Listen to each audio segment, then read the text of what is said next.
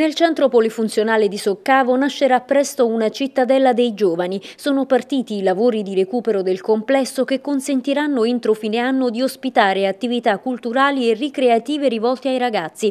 Il progetto è cofinanziato da fondi Por Campania e di bilancio comunale ed è realizzato dallo studio di architettura BAM, aggiudicatario del bando pubblicato dal comune. Questo è il secondo intervento significativo e importante in termini di strutture che il comune di Napoli fa su un'area che quella di Pianura Soccavo, dove noi vogliamo attivare il tessuto associativo e creare una forte rete cittadina e dare poi servizi qualificatissimi. Andremo a riqualificare, sono già partiti i lavori, quindi in queste ore ci sono già i cantieri aperti all'interno del polifunzionale, quasi metà della struttura che diventerà uno spazio aggregativo per i giovani altamente qualificato. Alle attività già in esercizio presso la struttura di via Appio Claudio si affiancheranno un cinema, un'area mercatale, una sala congressi e ristorante, punti accoglienza e informazioni e laboratori educativi. La possibilità per i ragazzi di prototipare un handmade, cioè un fatto a mano, eh, e quindi di creare all'interno di questi laboratori delle,